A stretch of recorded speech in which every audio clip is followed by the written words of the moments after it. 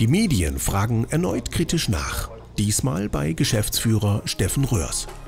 Nach dem ganzen Theater im vergangenen Jahr, jetzt haben Sie ja den Minister hier, was würden Sie sich von mir wünschen? Das Theater haben Sie gemacht, die Medien, ähm, und wir dürfen es ausbaden. Ähm, und äh, wir tun alle gut daran, dass wir dieses Theater langsam mal beruhigen, indem wir einfach mit Fachkompetenz beraten und auch die Medien ihren Beitrag dazu äh, teilen, dass wir äh, vernünftige Informationen vermitteln. Und hier geht es wirklich einfach darum, eine Wärmepumpe heizt heute jedes Haus, auch im Bestand, ohne Fußbodenheizung, ohne Dämmung. Es funktioniert einwandfrei und das beweisen wir gute 150 Mal im Jahr. Dennoch bekam auch Habeck einige ehrliche Worte von Steffen Röhrs zu hören, wenn auch wertschätzend verpackt. Ich hatte sie mal auf der Wärmekonferenz in Berlin gesehen letztes Jahr und äh, da hatten wir das, die Thematik, dass, äh, dass ja, Sie, Sie haben gesagt, der Prozess zu dem GEG e und zum BEG war jetzt nicht optimal. Das war so sinngemäß Ihre Wortwahl.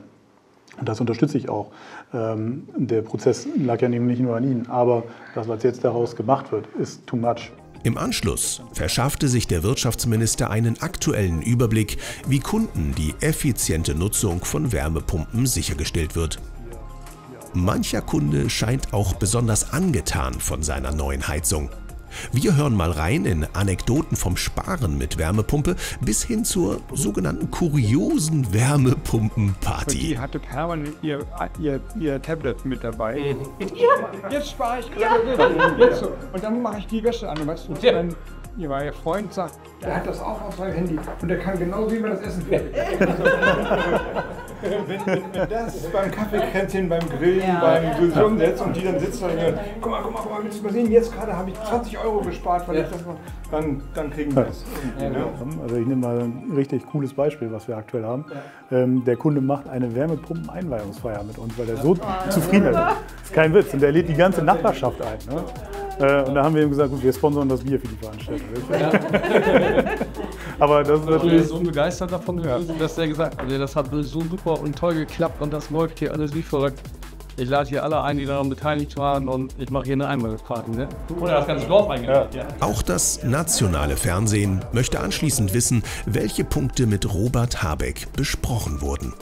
Ja, ein großer Wunsch war, dass Ruhe einkehrt. Auf allen Seiten. Also auf, wirklich auf allen Seiten. Auch Medienseite, Politikseite damit der Endkunde die Chance hat, sich mit dem wirklichen Thema zu befassen und nicht mit irgendwelchen falschen, falschen Aussagen befassen muss. Das war der größte Wunsch.